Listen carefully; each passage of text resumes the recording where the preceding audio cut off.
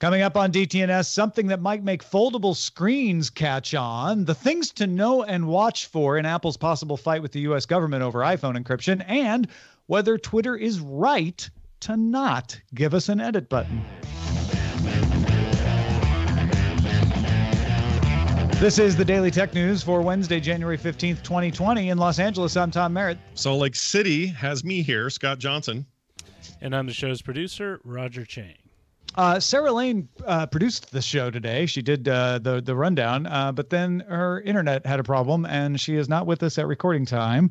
Uh, maybe she'll be joining us later. We hope so. But uh, in the meantime, if you want to hear about Scott Johnson's YouTube travails and Roger and I argue about the meaning of twang. You can get all of that at Good Day Internet by becoming a member at patreon.com slash DTNS. Let's start with a few tech things you should know.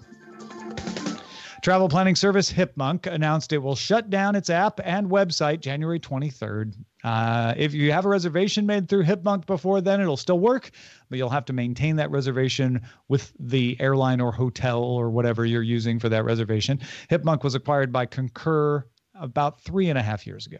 If you've never heard of Hipmunk, join the party. All right. YouTube added filters to a subscriptions tab on iOS. I'd love to check those out. Uh, you can choose to view videos from your subscriptions by which you have, or excuse me, by which you have posted that day, videos you started off but haven't finished, subscriptions you haven't watched at all, live videos, or see uh, short posts. All filters include no filter at all, uh, including no filter at all, rather, can be sorted in reverse chronological order. The filters are expected to arrive on Android in the future. Microsoft launched its Chromium based version of the Edge browser Wednesday. It's available for Mac and Windows at Microsoft.com slash Edge. Edge 79, as it's called, comes with business friendly features like Azure Active Directory support, Internet Explorer mode, search in Bing integration that integrates your intranet into Bing. Uh, tracking prevention is on by default, and it has three levels of protection, just like Firefox. Edge 79 also supports Chrome extensions. You can download Edge now or wait for it to arrive in Windows Update. In both cases, it'll replace your old Edge browser on Windows 10. The new Edge is distinguishable from the old Edge. If you're like, wait, did I already get it somehow? Uh, just look for the wave like circular logo, which replaces the variations on an E used by Microsoft's previous browsers. Ooh the uh, it's almost like uh, a new world for them. And by the way, it's really fast. I used it on my Mac today. Yeah, it's super super speedy. All right, let's talk a little more about what Google's doing for two-factor authentication. Why not? Google Upstart, uh, excuse me, Google Google's an upstart, brand new company, little mom and pop operation. No, that's not true. Google updated its Smart Lock app for iOS to include support for using the phone as a second factor for authentication of Google logins on Chrome.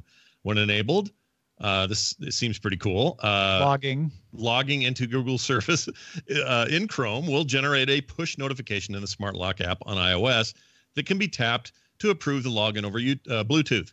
This is more secure than Google Prompt, which worked over the internet, but not as secure as a physical security key. It's an important distinction. The app requires o- uh, iOS 10 or later because it uses the iPhone Secure Enclave.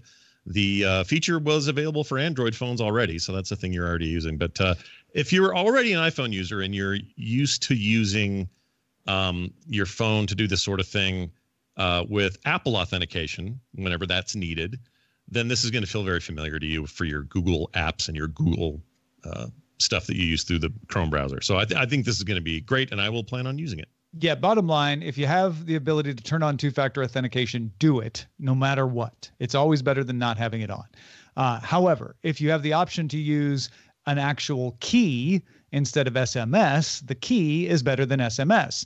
Uh, and this is another way you can have a key. If you don't actually own an, a physical key, uh, you could do this.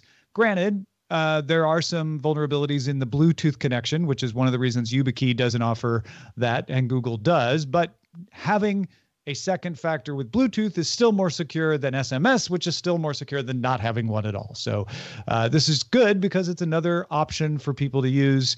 Uh, and the more options you give them to use, the more likely they are to turn on a second factor, which I'm, you should absolutely do. I'm really glad you broke down the the hierarchy of this is better than nothing this is better than that this is better than that all the way down to sort of the best because i think people get really gummed up on that and it's easy for them to hear something like, "Oh, did you hear Bluetooth dangerous now because Yeah, some right. vulnerability," and they don't realize that even then, if they're at least doing that, they're doing better if they were doing nothing at all. Because a lot of people just throw their hands up and say, "Well, I guess I just won't do anything if nothing's secure."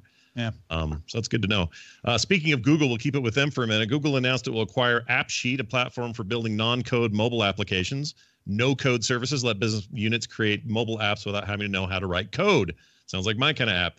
Uh, app sheets pull data from spreadsheets, app databases, databases or forms, uh, using the field or column name to build the app. AppSheet is integrated with multiple devices uh, and services like Google Sheets, Office Office 365, Salesforce, AWS, DynamoDB, Box, and more. Under Google, it plans to integrate more deeply into the G Suite, as one might expect. Yeah, so no code and low code uh, is becoming very prominent in the enterprise. Uh, it takes some burden off of central IT. Uh, if, say, I don't know, uh, the um, the T the video department at CNET, like where I used to work, uh, wanted to make an app for scheduling in in its uh, in its department, it wouldn't have to go to IT and say, "Hey, could you make us an app for scheduling?" And they'd say, "No, we don't have time for that." Uh, you could just use app sheets to whip together a scheduling app, pulling off of of, of a of a spreadsheet. Uh, and that that's pretty great. I, I think the worry here for people who are using AppSheet is like, well, wait a minute. I use it with Office 365 and Excel. Is it still going to work now that Google owns it? Um, hard to say. Right now, they're not saying anything about pulling support, but they are saying a lot about integrating into G Suite. So hopefully, they continue to support the platforms they have supported up until now, uh, and they just make more features available in G Suite, which is why Google bought them to kind of sweeten G Suite, make it Yeah. sweet G Suiter. G Suite, I like that. Um, it's almost like an artificial sweetener. Anyway, what was I going to say? Oh, in the '90s, we all had. I I remember. Uh, this feels a bit, a bit like Microsoft Access did for the desktop back in the day. Access was a database management piece of software, Mm, basically, but it also allowed you to make really quickly put together, thrown together database-driven desktop apps in no time at all. So your whole business could run on well, we're keeping these this data. We may as well be able to access it easily and create forms on the front end for our people here. And it wasn't great, but it was kind of cool for what it did. This sounds like that for mobile, and I Yeah, sound of it. I mean, uh, it's it's a little more fully featured than that. Roger was comparing it or, or in our prep meeting to Lotus Notes, uh, where, where you could do kind of similar things uh, as well. So it's it's not like the first thing that's ever happened, but it's a little more sophisticated, and you can make mobile apps for iOS and Android, which is pretty cool. The New York Times reports its sources say Apple is preparing for a legal battle with the U.S. Department of Justice over possible attempts to force the company to break encryption on two iPhones related to murders at Naval Air Station Pensacola. We've been following this story in the quick hits at the top of the show. Last week during CES, uh, Apple was asked to do more. Uh, yesterday, we talked about the fact that U.S. Attorney General William Barr claimed Apple had not given any substantive assistance. And then Wednesday, uh, U.S. Secretary of the Treasury Steve Mnuchin said it is absolutely critical for our technology companies to cooperate with law enforcement. Though he also admitted that he hadn't talked to Apple or anybody about this. He just was expressing his opinion. But there's a full court press from the U.S. government to make Apple look like they're not cooperating.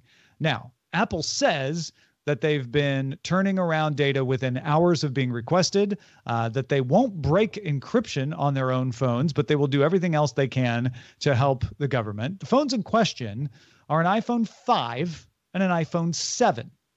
Bloomberg spoke to several security experts who say that the technology exists to crack into those kinds of phones without help from Apple. So it does make it seem like the government is using this as an excuse to put pressure on Apple. Uh, there are services from Cellebrite, services from Grayshift uh, that are cited as examples in the Bloomberg article as existing and able to break into iPhone 5s and iPhone 7s. Uh, although the ease of breaking into a phone depends on how up to date the operating system is on that phone. If it's got an older operating system, it might take less than an hour to break in. If it's up to date, it might take a little longer. There's also a vulnerability they were just talking about on the security bit section of NosillaCast this week called checkm8. Uh, this was released last autumn as a jailbreak. It targets the iOS boot ROM, which cannot be updated. So there's no defense against it. The reason we weren't freaking out about it last autumn is uh, it only works on iPhones from 4S to iPhone 10, but that covers both phones in this case. And it requires physical access to the phone and does not offer persistent access. You'd have to keep plugging it in to keep it jailbroken. But in the case of the FBI, those aren't problems. They have the phone, they have physical access to the phone, although one of them was shot with a bullet. Uh, but potentially they're able to, you know, use the drive so they, they could mount that. Uh, and they don't care if they have persistent access, they just want access. So it sounds like they could use checkm8 to get into these phones. Uh, we'll continue to follow this story to see what, if any, action the U.S. Department of Justice takes. But figured that was useful background when you're forming your own opinion about this to know. Yeah, I mean, I know what I want, which is I, I would I I like it when the companies dig in and say we'd like to not break encryption. Thank you. I mean, I think we all want law enforcement to get as much information to stop bad guys as possible, right? Uh, even if it's after the fact to learn what what they could have done to stop it or learn more intelligence, but not at the risk of weakening encryption for everyone, right? Right, and I don't. I just don't. I don't want them to. I don't want them to do it just simply because uh, this is a truth I want to be true all the time. I don't want a company to do it simply because a government is asking them to. I can't speak for other governments, but I, but when it comes to companies here in the U.S. that operate in the U.S. and are doing things under U.S. law, as often as possible, I'd like to see that resisted. Even if well, ultimately they have to give more and they have to give something up, I would still like to see that resisted. Where, where I'm at on it is if it's a if it's a warrant for a thing they can do, then the company should absolutely comply, right? right? If a judge has looked at it and said yes, there is a reason to do this, uh, and and 99.99% of the cases, I think a company would have to do it. I, am leaving a little room there for extraordinary circumstances, right? Uh, but if Apple says, no, we can't do that, or like WhatsApp often says, or they say it would actually be detrimental uh, to everyone. We would harm more people to do that. And also, it's not a warrant at this point. It's it's not even a request so much as it is pressure. Uh, then yeah, I don't I don't see why Apple should do more, especially given that there are alternatives uh, for the government to pursue here. Yeah. Well, we'll see how that all pans out, I guess. CNET's Jessica Dolcourt has an interesting article up about uh, some talks she had with people at CES last week about bendable glass, not bendable screens. Dolcourt points out that bendable screens right now are plastic. They're usually plastic with some kind of covering on them to protect them from being scratched, but they're plastic, so they're scratchable. That's why a lot of them will show creases over time. Bendable screen devices would be improved if there was actual bendable glass, because glass is more durable than plastic. Uh, Corning, which makes Gorilla Glass, showed off a version of Gorilla Glass in development that's thin enough to bend. Now, this is in development. It's not a practical application, but they're showing that at least it's possible that they could make something as tough as Gorilla Glass, but still thin enough to bend. Dolcourt also mentions a company called Miraj or a product called Miraj Diamond Glass from a company called Akhan Semiconductor, which is made by spraying nano diamonds, very small diamonds, onto a surface uh, in a layer 100 nanometers thick. That's about one ten thousandth the thickness of a human hair. This could be coated on plastic or even on bendable glass to make it as hard as a diamond, but maintain its bendability. Now, this sprayable diamond is also hydrophobic, so it's waterproof. It's oleophobic, so you wouldn't have to coat it with an oleophobic coating. Uh, it keeps the oil off, and it dissipates heat, so it's going to help cool your phone too. Akhan told CNET it wouldn't charge more for its coating than Corning charges for Gorilla Glass. However, glass is brittle, and when it breaks, it shatters. Plastic, on the other hand, may scratch, but it won't break. So there are some downsides here that need to be f- figured out and Diamond Glass is not available even for demonstration yet. It's, it doesn't sound cheap either, by the way. It's something that was promised before, and they say a manufacturer they were working with fell through. And so now they have to figure out how to do it at scale. So they need high orders to make it worthwhile. There's a lot of talk. And the earliest we might see it, if everything went well, was 2021. So it's possible, but it doesn't appear yet to be practical. It's one of those weird moments in uh, iteration in tech where because the application isn't 100% uh, solidified like we we really don't know yet what people are going to want foldable glass for. We think it's foldable phones. We think it's a tablet sometimes. Sometimes it's just what if this phone folded out to be a tablet? Um, like we have a lot of initial ideas how to apply it to usable products uh, but we're not 100% sure. And as a result trying to get there with better and better techniques, better and better products. There's this weird middle ground where you can't sell enough to justify the manufacturing, but you're testing on a prototype that totally works. But unless we sell a bunch, you're never going to see it come to market. Like that's always a really fascinating place uh, to be. And we've seen a lot of stuff in that place. Memory in the early days and like SSD style memory was kind of in that place. We saw that with even glass types like Gorilla Glass now. That took a while to get there, right? To find the applications to make it work, to make it price sent or uh, uh, price possible, I guess. And this feels like one of those. So I hope they work it out. You know, I want to bend things. Bending's cool, Tom. I like bending things. Yeah, you either need the big customer, right, which I think was what uh, Miraj is after. Uh, Gorilla Glass has the big customer. They just haven't quite been able to figure out the practicality of it. Uh, or the technology needs to be bought by somebody who will implement it because they have the big customer already. Or it's just doesn't have all the kinks worked out and it's not practical, which yeah. also might be the case. But uh, this this at least tells me uh, when you're looking at those bendable screens, keep looking to see if they're plastic. And if somebody starts coming out with a glass one, then we've kind of hit the next stage in that bendable screen market finally. I agree. Well, speaking of practicality, your pets like music, don't they? Well, Spotify launched Pet Playlists, lets you answer some questions about your pet's personality traits like energy level and friendliness. And then combines that with what it knows about you to create a music playlist for you and your pet all right. So they're not leaving the pet out. He doesn't just not there for the research, gets to actually enjoy the results. Feature lets you choose whether you're ch- creating the playlist for an iguana, a bird, a cat, a dog, or a hamster. Gerbils are like, what? Anyway, TechCrunch's Brian Heater has also launched an impassioned plea to admit rabbits to the list. That'd be cool. In the meantime, Heater says he will use the hamster selection as a workaround. This is kind of a silly story. It's definitely a marketing stunt by Spotify, and not a bad one, I'll say, because uh, you know I looked at it and was like, "Oh, pet playlist. We should make one for Sawyer." But your dog doesn't care. Do you have a dog? Okay, that's actually where I wanted to get to with this. Do you have a, a kind of music that your dogs get into? No. Okay. No. I mean, maybe somebody does. May, feedback at dailytechnewsshow.com if you're like, no, no, no, my dog only loves uh, Mongolian metal and this will be great uh, to make a playlist that has all the Mongolian metal my dog likes in a way that I'll enjoy. My dog seemed to chill out to uh, a playlist that I can just sort of keep running. If we're gone for a little longer than usual and they're in their kennels or something, yeah, they they seem to really like Mumford and Sons. Really? Can't explain it. They just okay. that above any other selection seems to chill them out. That may just so, be repetition. They've heard it that, long enough. I don't that know. brings up a good, big question for me though the what Spotify is doing is saying, well, we know what music you like because you use Spotify so much. Yeah. So tell us, is your dog energetic? Is your dog friendly? Is he shy? And then we'll come up with a uh, a, a, playlist that'll suit your dog and you. Mm-hmm. But do they really know your dog or your rabbit? Do they really? I mean, you know your rabbit. You should be able to say, my rabbit likes Mumford and Sons. And then Spotify could be like, oh, okay, based on Mumford and Sons, here's some stuff that sounds like Mumford and Sons. Uh, and we know you like this kind of Mumford and Sons song yourself. So, I mean, I, I think that would work better than like this kind of generic, like, oh, my dog's gentle and energetic. Like, yeah.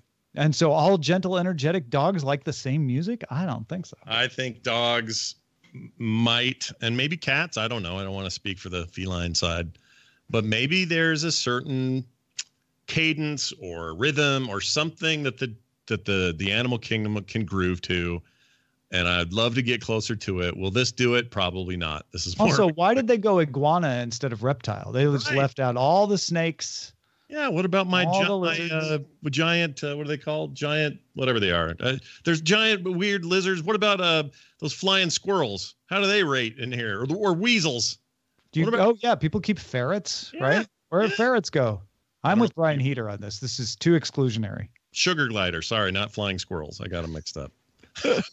uh, folks, if you want to get all the tech headlines each day in about five minutes, be sure to subscribe to dailytechheadlines.com.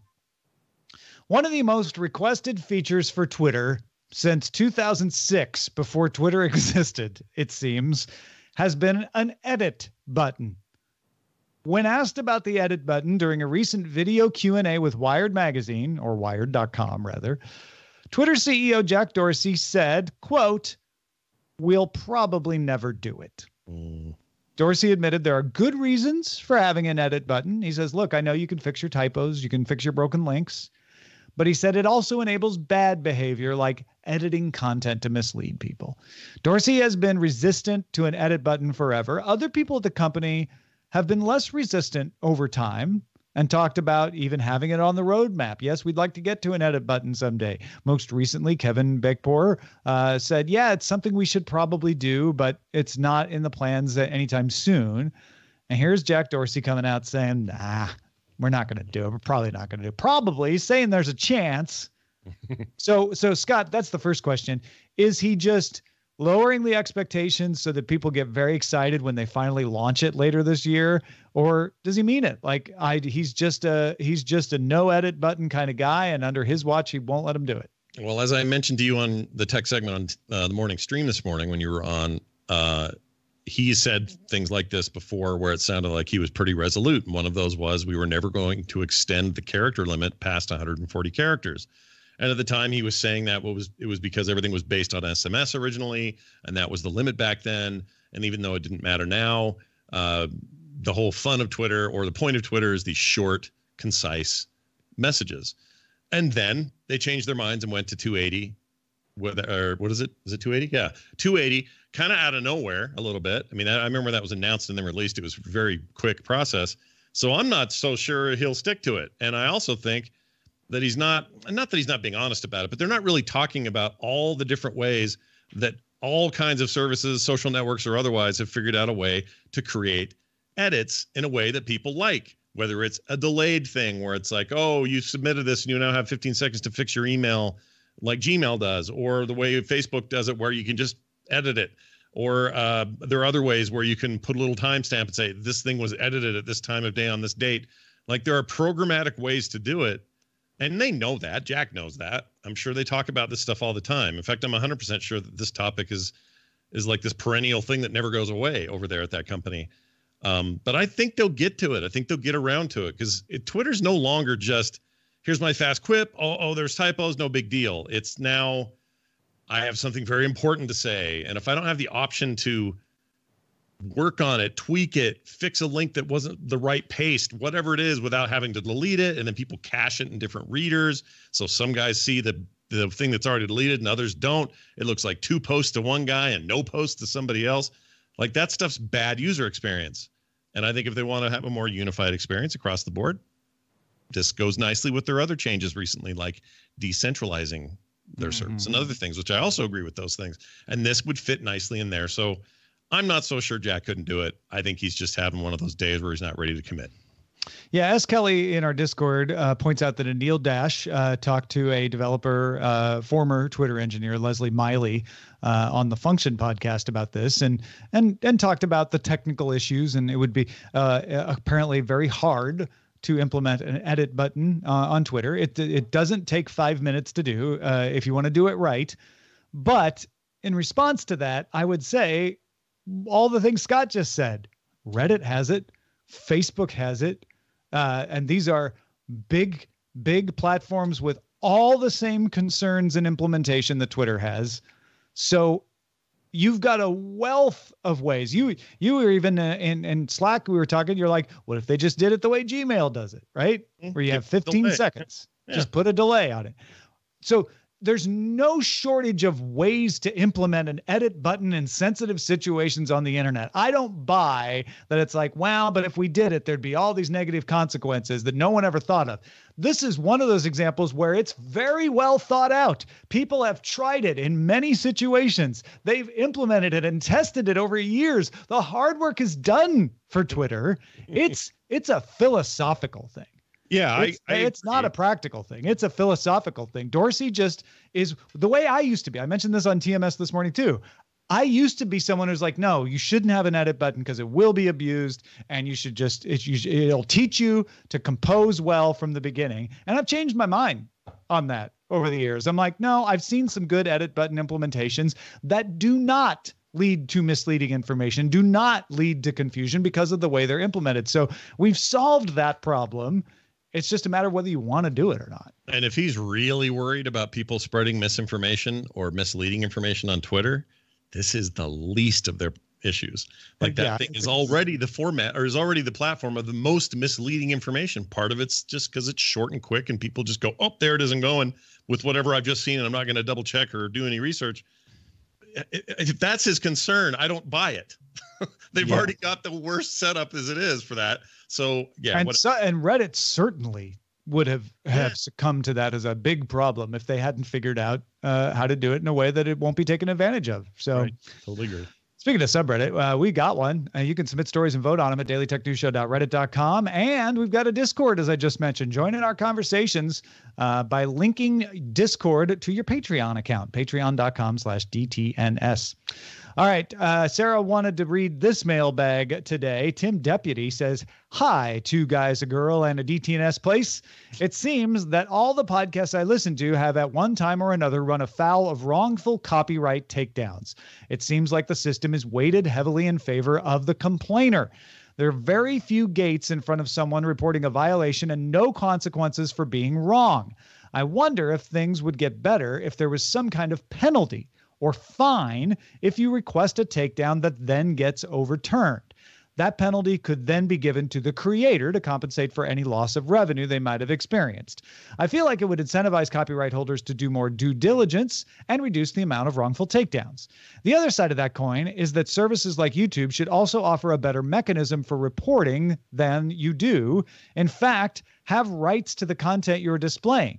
I'm curious about your thoughts on how the process is currently structured. Well, Tim, quick version from me. Uh, the reason it's structured the way it is on YouTube is YouTube was trying to appease the copyright holders who were accusing YouTube of encouraging copyright infringement. So they made it easy for big copyright holders to file. If they hadn't, they wouldn't have been able to grow. They had to make it easy to file.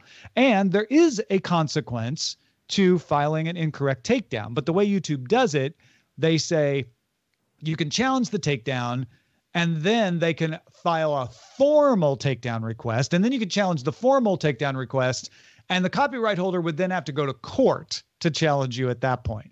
And and and so you have to decide if you really want to go to court or if you want to risk going to court by challenging the formal takedown. That's the way that process works uh, overall. Uh, but in practice scott sometimes it just goes all the way to the end without any appeal doesn't it Yes, it does. I may have experienced something like this recently myself. I'm still experiencing it, but um, it's a little bit like a cease and desist. The difference here is that you can't see. I might see a cease and desist and go, "Well, this is just a some bluster. They don't. They're not going to do anything, and until they subpoena me, I'm going to ignore this cease and desist." That's an option you have with cease and desist. You can do that yourself at whatever risk you are taking. Well, I know that what we had on our YouTube ban was not only legal, but we actually paid to be able to play it. It's also five years old.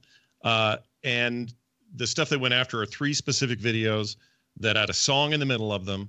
And YouTube is all over my case saying that the the complainants say that I ripped off their content. Truth is we play ASCAP, pay ASCAP fees, and we had the rights to do it. So normally if I get a cease and desist or something for something like that, I could say, it's fine, we're just gonna keep going. yeah I'm going to call their bluff, basically. In this case, they give a cease and desist to YouTube, and YouTube says, there's no such thing as calling bluffs. Everything's shut down. We're shutting it down because guilty until proven innocent, basically, is the way they do it. I'm not trying to equate it to government, but it, it is kind of the opposite of what we try to do with law. And then it's up to me to appeal it. The appeal process is kind of a nightmare. Um, you're mostly dealing with machines for a while. Eventually, you might get people looking at it. And Uh, that, that on the way to that official copyright takedown notice, while you're waiting to go through all those machines, your channel's off. Yeah. Yes. You're, you're, it- that's the guilty and proven innocent. Like you may end up winning this dispute. You may tell them like, ah, but if you really want to do an official takedown, you're going to have to back it up in court, and it's illegal to do a a, a bad faith takedown notice. But in the meantime, YouTube has your channel shut down. Right. And it, it, you know what? Honestly, here's the truth of it. They could have come to me outside of the channels and said, Hey, this song you played back in 2012, we didn't want that on there. And I might have said, Well, we pay our ASCAP fees, but I understand if that's a problem, I'll just delete the video. We'd be done. We'd be done. I'd delete it, no problem. I wouldn't have fought that. But instead, now all my stuff is in YouTube jail. All the art videos I do, which are 100% my content, uh, everything else I've ever done that has nothing to do with this dispute is all up there. And ironically, the dispute itself is actually based on legal acquisition of the music we played. So it, it really is heavily favored away from me as a creator and toward those who are making the complaints. 100% true. And I agree with this email that maybe more could be done on their end to to, to ease that up. Maybe not fines, maybe the stuff's already a deterrent for them, but just something more so YouTube could say, we're not 100%, you know, not with you, dear creator. We'd actually like to see you do well on here as well. We're going to talk more about this on Good Day Internet, uh, but uh, thank you, Scott, uh, for the summary there. Shout out to patrons at our master and grandmaster levels, including Philip Less, Friedrich Hubner, James P. Callison. Uh, thank you, Scott Johnson. If people want to find the content that is available from you, where do they go? Well, most of it is still, uh, we, we keep everything uh, on Twitch as well. So if you want to go see that stuff there, we've got full collections for the different shows I do, although a lot of the archive stuff isn't there because we weren't doing it back, back then when I was putting it on YouTube. But if YouTube comes back, it'll all be there as well. If they're looking for all of this stuff, though, links to everything that we're doing, go to frogpants.com and uh, you'll find it, even some temporary places for videos uh, until this all gets resolved. Uh, but the podcasts are all good. Everything's uh, on the on the up and up there. Uh, and if you're looking to just chat with me, I'll be on Twitter, unable to edit my posts over at Scott Johnson on Twitter.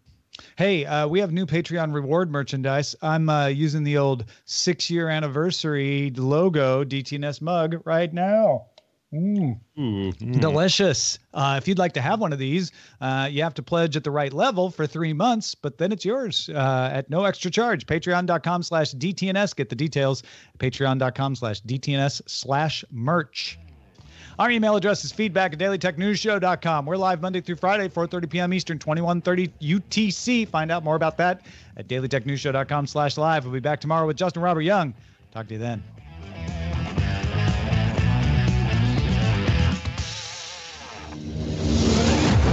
This show is part of the Frog Pants Network. Get more at frogpants.com. Diamond Club hopes you have enjoyed this program.